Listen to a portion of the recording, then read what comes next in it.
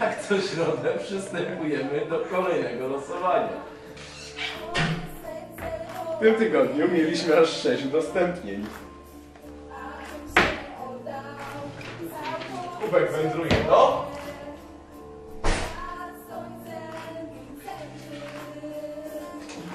Pani Nicole Artur.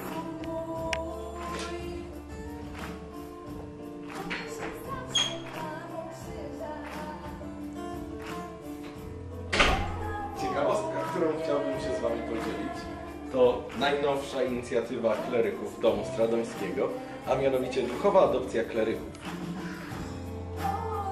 Z tyłu na obrazku znajduje się modlitwa, którą możecie wspólnie odmawiać i modlić się za nas. Bez, dostępne będą one na naszym Facebooku. Cześć!